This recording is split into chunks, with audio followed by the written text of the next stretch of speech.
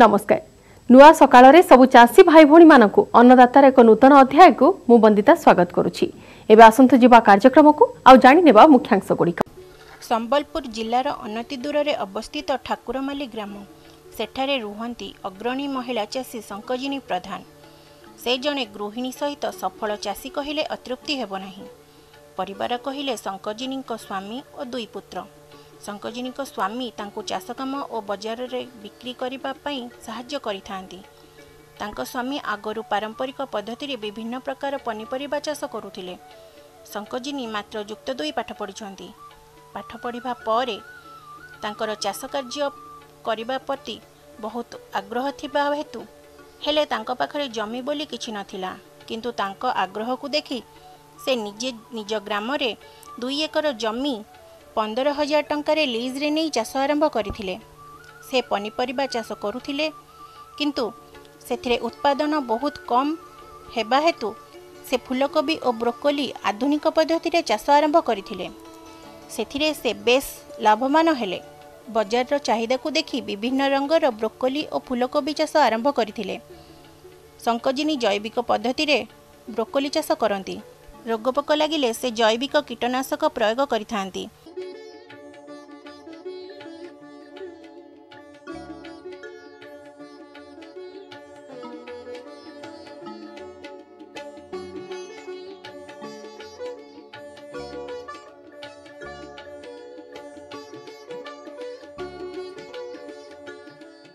ଆମେ ଲତା ଜାତୀୟ ଯେନ୍ଟା ଲହ ଲହ ଜାତୀୟଟା କରସୁଁ ଯେନ୍ଟାକି ଆମେ ରେଲିସ୍ ଇଏ କରସୁଁ ରାଞ୍ଜ ଅଭାବ ଲାଗି ବୋଲି ଯେନ୍ଟା ଆମର୍ ଦ୍ୱାରା ହେଇପାରବା ଆମେ ଉମ୍, ରସି ତାର ଥୁନ୍ କରସୁଁ ଆଉ ପୁରୁଷ ଲୋକ ତ ଲେବର ବାହାରବାଟା ବହୁତ କଡ଼ା ବୋଲିକରି ଆମେ ସେ ନାନୀକେ ସବୁବେଲେ ମହିଳା ଲେବର ଲଗେଇକରି ନାନୀଙ୍କ ସାଙ୍ଗେ ମିଶିକରି ସବୁବେଲେ ଚାଷ କରସୁଁ ପୁରୁଷମାନେ ଆଜକାଲ ଆଉ ଚାଷ କରବାର୍ ଇଏ ନାନ ଲେବର ମିଲବାଟା ବି ବହୁତ କଡ଼ା ଏଥିର୍ଲାଗି ବୋଲି ଆମେ ତାରରେ ହିଁ କରିଥିସୁଁ ଆମେ ଏଇ ଫୁଲକୋବି ବନ୍ଧାକୋବି ଛଡ଼ା ଲହ ଜାତୀୟଟା ବି ଯେନ୍ଟା କରସୁଁ କି ଜହ୍ନି ଲାଉ କୁନ୍ଦୁରୁ ଝୁନଗା ଇଟାକେ ଟ୍ରେଲିସ୍ ହିସାବରେ କରସୁଁ। କାଁ ହେଲା ଯେ ଆମର୍ ଇହାଦେ ଉମ୍, ରାଞ୍ଜ ମିଲବାଟା ବହୁତ ଅସୁବିଧା।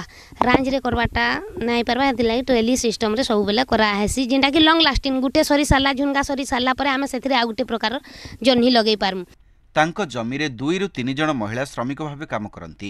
ଆମର ବଗିଚାରେ ଯେହେତୁ ଚାଷ କରୁଛୁ ଆମକୁ ବି ଦୁଇରୁ ତିନିଟା ଲେବରକେ ବି ସବୁବେଲେ ତାହାକୁ ରଖବା ଲାଗି ପଡ଼ୁଛେ ନୂଆ ଭେରାଇଟି କରୁଛୁ ତ ସେଥିର୍ଲାଗି ନୁ ଆଉ ସେଇଟା ସିଜନ୍ ୱାଇଜ୍ ହେଉଛେ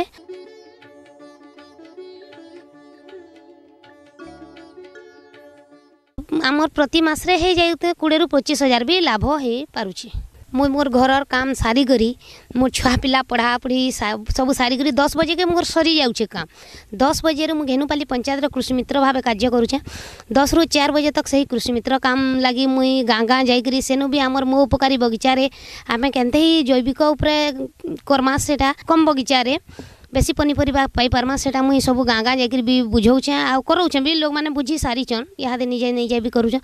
ତାପରେ ଯେନ୍ ଟାଇମ୍ ଅଗଲି ଯାଉଛେ ମୁଇଁ ଦଶରୁ ତିନ୍ ଦଶରୁ ଚାର ବାଜୁଛେ ଯେନ୍ ଟାଇମ୍ ଅଗଲି ଯାଉଛେ ସେ ଟାଇମ୍ରେ ମୁଇଁ ଆସିକରି ସନ୍ଧ୍ୟା ତକ୍ ମୋର୍ ନିଜର ବାରି ମୁଇଁ କାମ କରୁଛେଁ। ଆଉ ସବୁବେଲେ ଚାଷ କରୁଥିମୁ ମୁଇଁ ଯେହେତୁ ଜଣେ ମହିଳା ଚାଷୀଟେ ମୁଇଁ ଚାଷ ଉପରେ ତ ସବୁବେଲେ ଡିପେଣ୍ଡ କରୁଥିମି। ଯେତେ ଯାଏଁ କାମ କଲେ ବି ଚାଷ ହିଁ ମୋର ପ୍ରଧାନ କାମ। ମୋର ଗାଁରେ ଏସ୍ ଏଚ୍ ଜି ଗ୍ରୁପ୍ ମାନେ ବି ଅଛନ୍ ଦଶଟା ଏସ୍ ଏଚ୍ ଜି ଅଛନ୍। ମୁଇଁ ମା ଶୁଭଲକ୍ଷ୍ମୀ ଏସ୍ ଏଚ୍ ଜିର ସାଧାରଣ ସଭ୍ୟା। ହେ ଆଉ ମୋର ଏସ୍ ଏଚ୍ ଜିରେ ମୁଇଁ ମିଶିକରି ବି ଆମର ଏସ୍ ଏଚ୍ ଜି ବାଲାକୁ ବି କହିକରି ବି ଆମେ ସବୁ ଚାରା ପକାସୁଁ। ପପେୟା ଆଉ ଡ୍ରମଷ୍ଟିକ୍ ଚାରା। ଆଉ ତାର ବାହାରେ ବି ଦୁଇହଜାର ନଅ ମସିହାରୁ ସେ ଖଲି ଦନା ପ୍ରସ୍ତୁତ କରି ତାକୁ ମଧ୍ୟ ବଜାର ଓ ହୋଟେଲରେ ବିକ୍ରି କରି ସେଥିରୁ ମଧ୍ୟ କିଛି ଲାଭ ପାଉଛନ୍ତି। ମୁଇଁ ଟିକେ ଫୁର୍ସତ ମିଲଲେ ରାତି ଟାଇମ୍ରେ ମୁଇଁ ଖଲି ଦନା ବି ବନାସି ଖଲି ଦନା ବି ମୋର୍ ଦୁଇ ହଜାର ନଅରୁ ଚାଲିଛେ ବୋଲିକିରି ମୁଇଁ ସେ ଜିନିଷଟାକେ ଭୁଲି ନା ପାରବାର ଆଉ ସେଟା ମୋର୍ କାମଟା ବଜାୟ ରଖି ଚାଲିଛେ ଆଉ ମୁଇଁ ଦୋକାନମାନଙ୍କୁ ବି ସେଲିଂ କରୁଛେ ମେନ୍ ବେଶୀକରି ମୁଇଁ ବିହା ସିଜନଟା ମୋର୍ ବହୁତ ଇନକମ୍ ହେଇଥିସି ଖଲି ଦନାରେ ଆମେ ଯେନ୍ ବି ଚାଷ କରୁଛେ ସେଟା କେନ୍ତେ ହି ପ୍ରଡକ୍ସନ୍ ବେଶୀ ହେବା ମୁଇଁ ସେଟା ଦେଖା ରେଖା କରେ ଆଉ ମାର୍କେଟିଂ କେନ୍ତା ହେଇପାରବା ଯେ ମୋର୍ ହଜବେଣ୍ଡ ଡେଲି ସମ୍ବଲପୁର ଯାଇକରି ସେଟା ମାର୍କେଟ ଉପରେ ସେ ବେଶୀ ଧ୍ୟାନ ଦେଇଥାନ୍ ଶଙ୍କଜିନୀ ପ୍ରଧାନ ଏହି ଚାଷ କରି ନିଜ ଗାଁରେ ବେଶ୍ ସୁନାମ ଅର୍ଜନ କରିବା ସହିତ ବିଭିନ୍ନ ସଂସ୍ଥା ଦ୍ୱାରା ପୁରସ୍କୃତ ମଧ୍ୟ ହୋଇଛନ୍ତି। ବିରତି ପରେ ଆପଣଙ୍କୁ ପୁଣି ଥରେ ସ୍ୱାଗତ।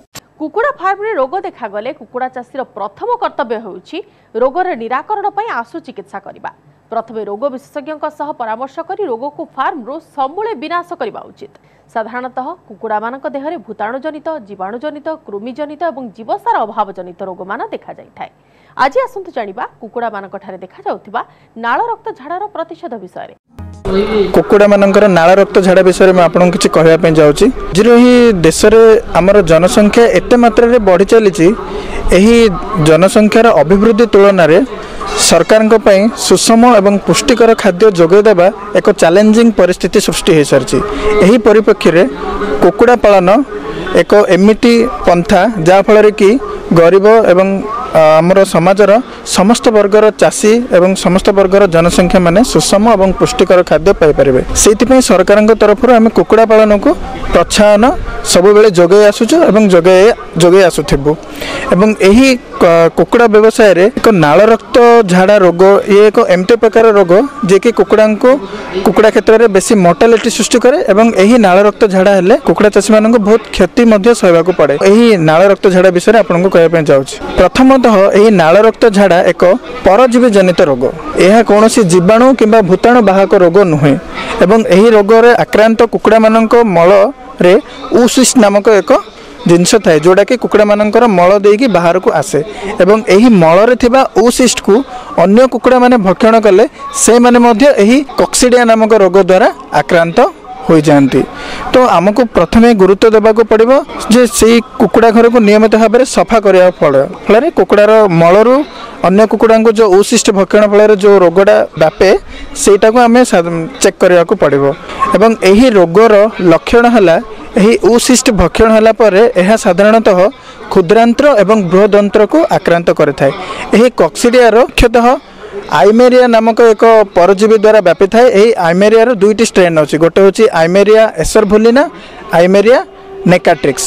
ଆଇମେରିଆ ଏସରଭୁଲିନା ବା ଏହି ପରଜୀବୀ ক্ষুদ্রান্তরকু প্রভাবিত করে থাকে এবং ক্ষুদ্রান্তরে ইয়ে লিজন সৃষ্টি করে ক্ষত সৃষ্টি করে যাফলে কি ক্ষুদ্রান্তরর রক্ত বহি নাল রক্ত ঝাড়া হয়ে থাকে এবং আইমেরিয়া নেকাট্রেসকু সিকাল কক্সিডিওসিস কুহযায় সিকাল কক্সিডিওসিস মানে সিকম হচ্ছে গোটে বৃহদন্ত্রর গোটে পার্ট এই সিকম অংশকু এই আইমেরিয়া নেকাট্রিক্স নামক পরজীবী ବହୁତ ପରିମାଣରେ ପ୍ରଭାବିତ କରି କ୍ଷତ ସୃଷ୍ଟି କରେ ଏବଂ ଯାହାଫଳରେ କି କୁକୁଡ଼ାମାନେ ନାଳ ରକ୍ତ ଝାଡ଼ାର ଶିକାର ହୁଅନ୍ତି।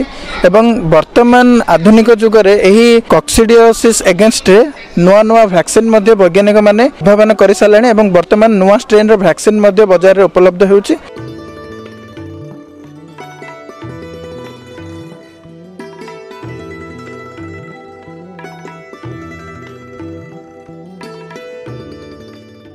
ଏହି କକ୍ସିଡିଓସିସ୍ ରୋଗକୁ ପ୍ରତିକାର ନିମନ୍ତେ କୁକୁଡ଼ା ଖାଦ୍ୟରେ ସାଧାରଣତଃ ବର୍ତ୍ତମାନ କକ୍ସିଡିଓ ଷ୍ଟାର୍ଟ ମଧ୍ୟ ବ୍ୟବହାର କରାଯାଏ ଏବଂ ଆମ୍ପ୍ରୋଲିୟମ୍ ନାମକ ଔଷଧ ଦ୍ୱାରା ଏବଂ ଏହି ନାଳ ରକ୍ତ ଝାଡ଼ାକୁ ଆମେ କୁକୁଡ଼ାମାନଙ୍କ କ୍ଷେତ୍ରରେ ନିୟନ୍ତ୍ରଣ କରିପାରିବା।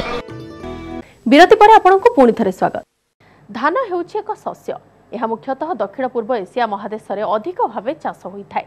ଆମ ରାଜ୍ୟରେ ଧାନ ଫସଲରେ ମହିଷା ରୋଗ ଚିତା ରୋଗ ପତ୍ରପୋଡ଼ା ରୋଗ ପତ୍ର ଦାଗ ରୋଗ ପତ୍ରାଛଦ ପୋଡ଼ା ରୋଗ ପତ୍ରାଛଦ ସଢ଼ା ରୋଗ କାଣ୍ଡ ସଢ଼ା ରୋଗ ମୂଳ ସଢ଼ା ରୋଗ ବିଶେଷ ଭାବରେ ଦେଖାଦେଇଥାଏ ଏଗୁଡ଼ିକ ଧାନ ଫସଲରେ ବହୁତ କ୍ଷତି ଘଟାଇଥାନ୍ତି। ଅବଶ୍ୟ ସମସ୍ତ ରୋଗର ପ୍ରାଦୁର୍ଭାବ ସମାନ ନଥାଏ। ଏହା ସାଧାରଣତଃ ପାଗ ଉପରେ ନିର୍ଭର କରିଥାଏ। ଏହି ରୋଗଗୁଡ଼ିକ ସମ୍ବନ୍ଧରେ ଆମେମାନେ ସଚେତନ ହେବା ଆବଶ୍ୟକ।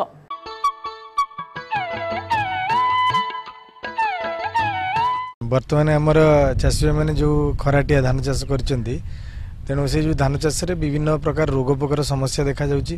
ସାଧାରଣତଃ ଆପଣ ଦେଖିବେ ବର୍ତ୍ତମାନ କାଣ୍ଡବିନ୍ଧା ପୋକର ପ୍ରାଦୁର୍ଭାବ ଦେଖାଯିବ ଏବଂ ଯେଉଁ ଖରାଟିଆ ଚାଷ କରିଛନ୍ତି ଧାନ ଚାଷ ସେଥିରେ ଯେଉଁଟାକ ଆମର ଯେଉଁ ଜାଗାରେ ଜଳସେଚନର ସୁବିଧା ଅଛି ସେଠି ଚାଷୀମାନେ ଏଇ ଚାଷ ବହୁ ଆକାରରେ କରନ୍ତି। ତେଣୁ ଯଦି ଏଇ କାଣ୍ଡବିନ୍ଧା ପୋକକୁ ଆମେ ଠିକ୍ ଭାବରେ ନିୟନ୍ତ୍ରଣ ନ କରିବା ପରବର୍ତ୍ତୀ ଅବସ୍ଥାରେ ଦେଖିବେ ଧାନର ଅମଳ ପ୍ରାୟ କୋଡ଼ିଏରୁ ତିରିଶ ଭାଗ କମିଯିବ।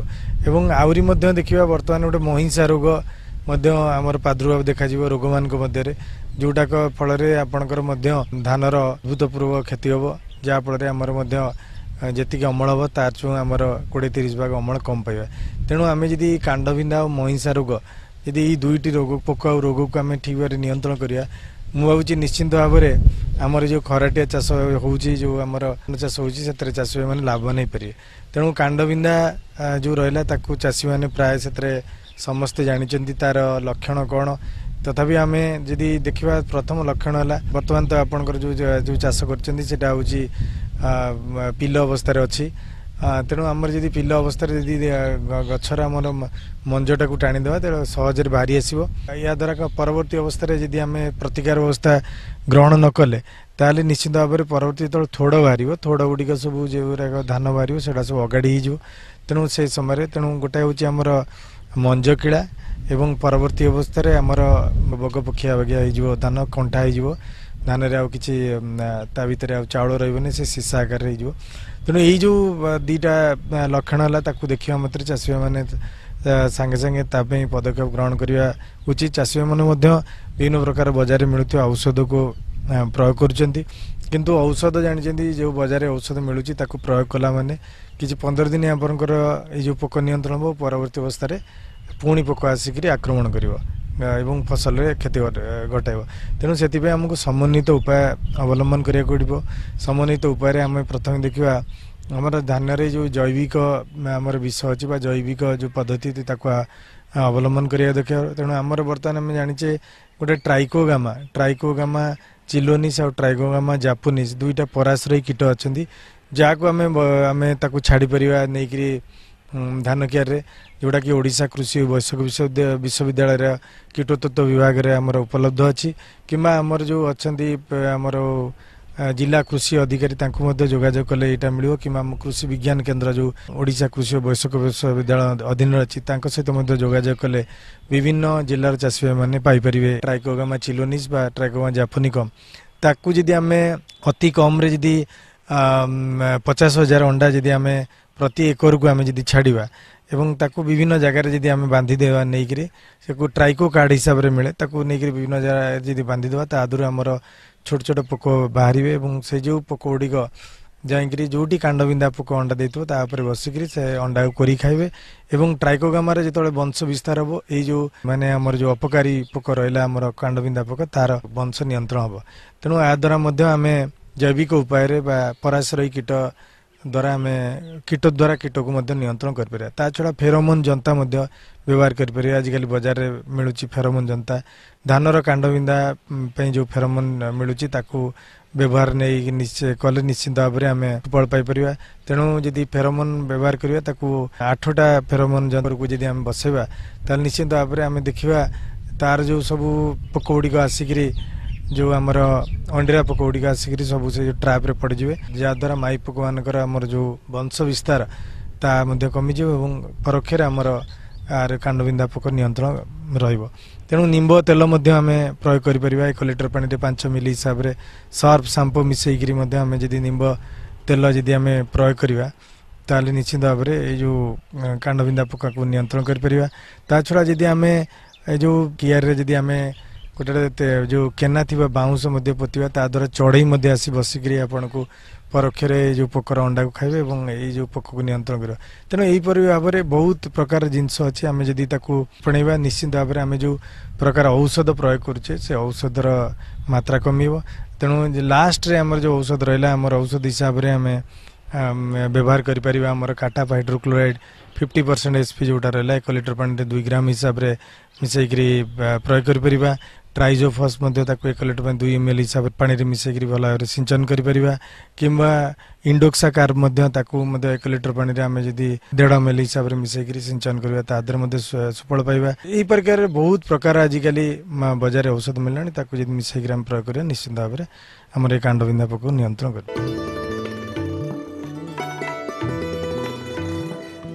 ମଶା ରୋଗର ପ୍ରଥମେ ଦେଖିବେ ଗୋଟେ ଗୋଟେ ଛୋଟ ଛୋଟ ଦାଗ ଦେଖାଯିବ ଏବଂ କ୍ରମଶଃ ବଢ଼ିକିରି ଦୁଇ ତିନି ତିନି ଦିନ ମଧ୍ୟରେ ବଡ଼ ବଡ଼ ଦାଗ ହେଇଯିବ ଛୋଟ ଛୋଟ ଦାଗ ମିଶିକିରି ଏବଂ ଦାଗର ମଝି ଅଂଶ ଯେମିତି ଆମର ଆଖି ମଝି ଅଂଶଟା ଚଉଡ଼ା ରହିବ ଏବଂ କଡ଼କୁ ସରୁ ହେଇଯିବ ସେଇ ଟାଇପ୍ର ଦେଖାଯିବ। ତେଣୁ ଆଖି ବେଗିଆ ପରି ଦାଗ ଦେଖାଯିବ ବଡ଼ ବଡ଼ ଦାଗ ଦେଖାଯିବ ଓ କ୍ରମଶଃ ଫସଲ ଗୁଡ଼ାକ ସବୁ ପତ୍ର ଗୁଡ଼ା ସବୁ ଜଳିଯିବ ବା ପୋଡ଼ିଗଲା ପରି ହେଇଯିବ। ତେଣୁ ଏଇ ଯଦି ଆପଣ ଏମିତି ଦେଖୁଛନ୍ତି ତାହେଲେ ପ୍ରଥମ ଜିନିଷ ତ ବର୍ତ୍ତମାନ ତ ଧାନ ପିଲ ଅବସ୍ଥାରେ ହେଲାଣି।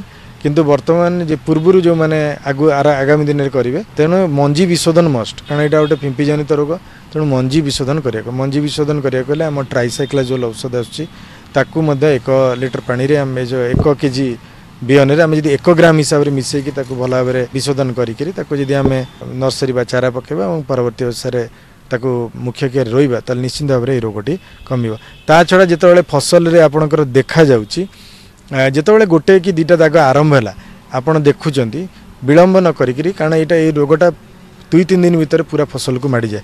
ତେଣୁ ଗୋଟାଏ ଲିଟର ପାଣିରେ ଏଇ ଟ୍ରାଇସାଇକ୍ଲାଜୋଲ୍ ଔଷଧ ଯେଉଁଟା ବିଭିନ୍ନ କମ୍ପାନୀ ବିଭିନ୍ନ ନାଁରେ ବଜାରରେ ମିଳୁଛନ୍ତି ଆମର ବିମ୍ ମିଳେ ତାପରେ ସିଭିକ୍ ମିଳେ ବିଭିନ୍ନ ବିଭିନ୍ନ ନାଁରେ ମିଳୁଛି ତାକୁ ଆପଣ ଟ୍ରାଇସାଇକ୍ଲାଜୋଲ୍ ଔଷଧ ମନେ ରଖିଥାନ୍ତୁ ତାକୁ ଏକ ଲିଟର ପାଣିରେ ଆମର ଏକ ଗ୍ରାମ ହିସାବରେ ମିଶାଇକିରି ତା ଦେହରେ ସର୍ଫ ସାମ୍ପୁ କିମ୍ବା ବଜାରରେ ମିଳୁଥିବା ଅଠା ମିଶାଇକିରି ଭଲ ଭାବରେ ସିଞ୍ଚନ କରିବେ।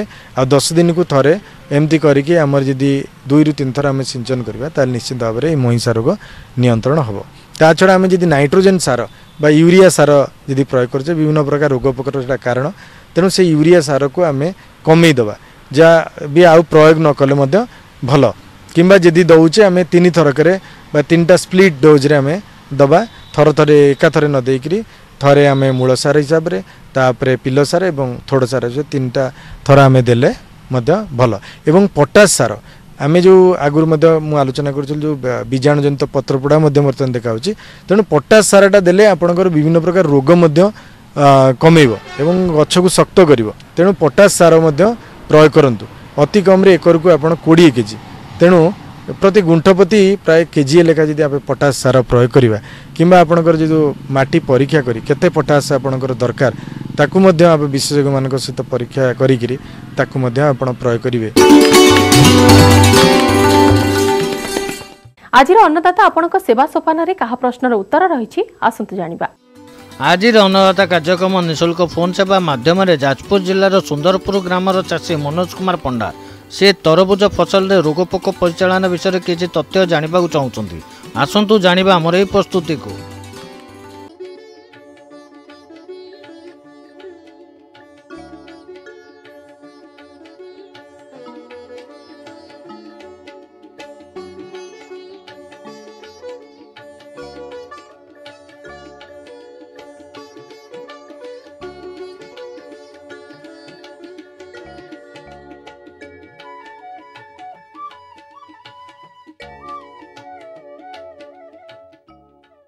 ବର୍ତ୍ତମାନ ଚାଷୀମାନେ ପ୍ରାୟ ବହୁ ଜାଗାରେ ଆମର ଅ, ଖରାଟିଆ ଯେଉଁ ଖର ତରଭୁଜ ଚାଷ କରିଛନ୍ତି ଏବଂ ବହୁ ଜାଗାରେ ମଧ୍ୟ ତରଭୁଜ ମାର୍କେଟକୁ ଆସିଲାଣି ଯେଉଁମାନେ ଏର୍ଲି ବା ସହଳ ଯେଉଁମାନେ ତରଭୁଜ ଚାଷ କରିଥିଲେ।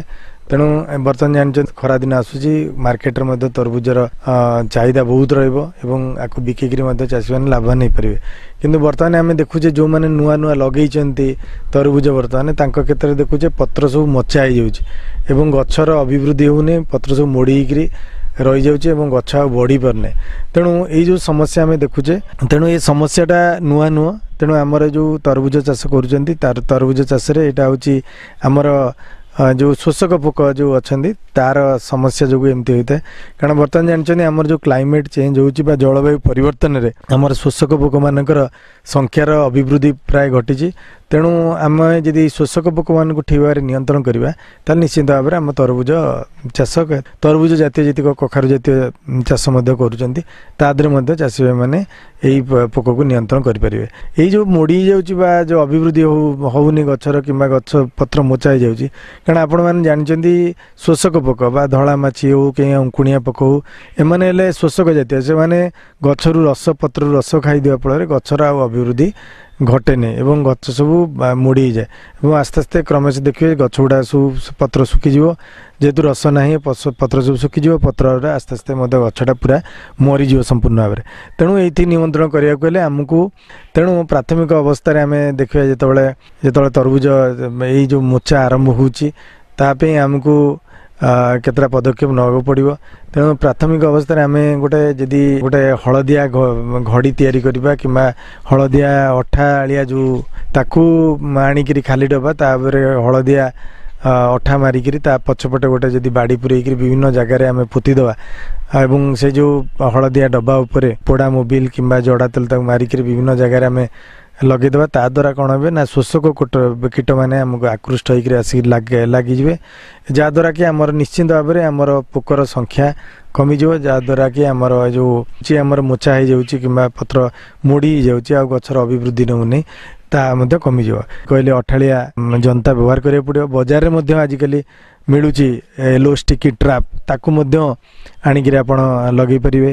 ତାକୁ ଏକର ପ୍ରତି ଆପଣ ଯଦି ଆଠ ଦଶଟି ଲଗେଇଦେଲେ ତା ଦ୍ୱାରା ମଧ୍ୟ ଆପଣଙ୍କର ଏଇ ଯେଉଁ ପୋକ ମଧ୍ୟ ନିୟନ୍ତ୍ରଣ ହେଇପାରିବେ ତା ଛଡ଼ା ଆମେ ନିମ୍ବ ତେଲ ମଧ୍ୟ ବ୍ୟବହାର କରିପାରିବା ପ୍ରାଥମିକ ଷ୍ଟେଜ୍ରେ ଆମେ ହଠାତ୍ କୀଟନାଶ ଆଡ଼କୁ ନ ଯାଇ ଯେତେବେଳେ ଟିକେ ଟିକେ ଆରମ୍ଭ ହେଉଛି ସେହି ସମୟରେ ନିମ୍ବ ତେଲ ଏକ ଲିଟର ପାଣିରେ ଆମେ ଯଦି ଛୋଟ ଗଛ ହେଇଥିଲେ ଦୁଇ ମିଲି କିମ୍ବା ପାଞ୍ଚ ମିଲି ହିସାବରେ ଆମେ ଯଦି ପ୍ରୟୋଗ କରିପାରିବା ବଡ଼ ଗଛ ଟିକେ ବଡ଼ ହେଲା ପରେ ଯେଉଁ ଅଠା ଆମର ରହୁଛି ସର୍ଫ ସାମ୍ପୁ କିମ୍ବା ଆମର ବଜାରରେ ଯେଉଁ ଅଠା ମିଳୁଛି ଷ୍ଟିକର ସବୁ ମିଳୁଛି ତାକୁ ମିଶାଇକିରି ଭଲ ଭାବରେ ଆମେ ସିଞ୍ଚନ କରିବା। ତା ଦ୍ୱାରା ମଧ୍ୟ ଆମେ ସୁଫଳ ପାଇପାରିବା। ତା ଛଡ଼ା ଆମେ ଆଗରୁ ଯେମିତି କହୁଛେ ଯେ ଆମେ ନିମ୍ବ ପତ୍ର ଛେଚିକିରି ମଧ୍ୟ ଦେଶୀ ଉପାୟରେ ନିଜ ଘରେ ମଧ୍ୟ ଆମେ ଯଦି ପଚାଶ ଗ୍ରାମ ନିମ୍ବ ପତ୍ରକୁ ତାକୁ ଭଲ ଭାବରେ ପାଣିରେ ଛିଞ୍ଚିକିରି ଛେଚିକିରି ଭଲ ଭାବରେ ପାଣିରେ ମିଶାଇକିରି ତାକୁ ଯଦି ଗୋଟେ ରାତି ରଖିକି ସକାଳୁ ତାକୁ ଅଖା ଯେଉଁ ରହିଲା ଆଳୁ ଅଖା କିମ୍ବା ଆମର ମଶାରିରେ ଛାଣିକିରି ଆମେ ଯଦି ତାକୁ ଅବଶିଷ୍ଟ ପାଣି ମିଶାଇକି ଭଲ ଭାବରେ ସିଞ୍ଚନ କରିବା ତା ଦ୍ୱାରା ମଧ୍ୟ ଆମେ ସୁଫଳ ପାଇପାରିବା ତେଣୁ ଏଇସବୁ ରହିଲା ଆମର ଜୈବିକ ଉପାୟ ତା ଛଡ଼ା ଆମେ ଯଦି ଲାଷ୍ଟ ଇଏରେ ଆମେ କୀଟନାଶକ ଔଷଧ ପକାଇବା କୀଟନାଶକ ହିସାବରେ ଏସିଟାମିପ୍ରିଡ୍ ଆମର ଟ୍ୱେଣ୍ଟି ପରସେଣ୍ଟ ଏସ୍ ପି ରହୁଛି କିମ୍ବା thiamethoxam twenty five percent W G ଯେଉଁ ରହୁଛି ଏସବୁ ପାଉଚ୍ ଆକାରରେ ମିଳୁଛି ପାଞ୍ଚ ଗ୍ରାମ ହିସାବରେ ମିଳୁଛି ଗୋଟେ ଡ୍ରମ୍କୁ ଆପଣ ଗୋଟେ ପାଉଚ୍ କିମ୍ବା ଦଶ ଗ୍ରାମ ଦୁଇଟା ପାଉଚ୍ ବ୍ୟବହାର କରିପାରିବା ଗୋଟେ ଲିଟର ପାଣିରେ ଆମେ ଶୂନ ଦଶମିକ ଦୁଇ ପାଞ୍ଚରୁ ପାଞ୍ଚ ଅଧା ଗ୍ରାମ। ଗୋଟେ ଲିଟର ପାଣିରେ ଆପଣ ଅଧା ଗ୍ରାମ କିମ୍ବା ଅଧାର ଅଧା ଗ୍ରାମର ଅଧା ତାକୁ ମଧ୍ୟ ମିଶାଇକିରି ଆମେ ଯଦି ଭଲ ଭାବରେ ସିଞ୍ଚନ କରିପାରିବା ତା ଦେହରେ ମଧ୍ୟ ନିୟନ୍ତ୍ରଣ ହୋଇପାରିବ ଆଉ ଛଡ଼ା ବର୍ତ୍ତମାନ ଆମର କ୍ଲୋଥିଆଡିନ୍ ବୋଲି ଆଉ ଗୋଟେ ମଲିକୁଲ ନୂଆ ମଲିକୁଲ ମିଳୁଛି।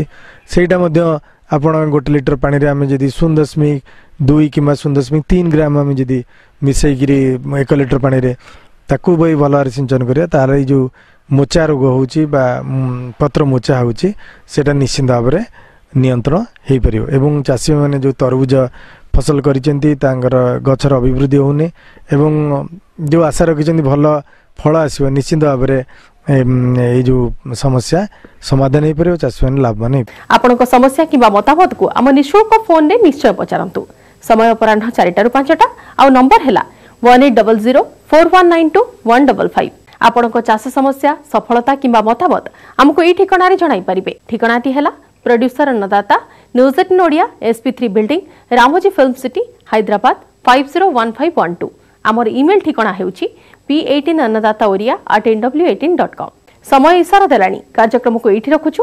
କାଲି ଆଉ କିଛି ନୂଆ ତଥ୍ୟ ନେଇକରି ଆସିବୁ। देखा जमार भूल ठीक यही समय विदाय दिंतु नमस्कार।